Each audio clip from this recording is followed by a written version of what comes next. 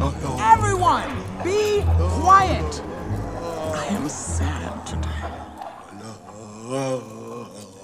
Are you deaf?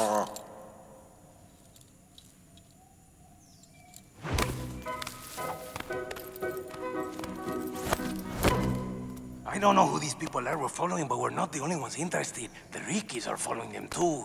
Ricky's? What on earth? Whatever their reasons are, those Rickies never mean any good. They must be as intrigued as we are by the sudden appearance of a white wolf. Mom, you are so smart.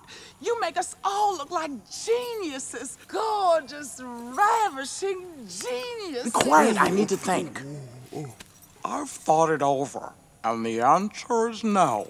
I'm definitely not deaf.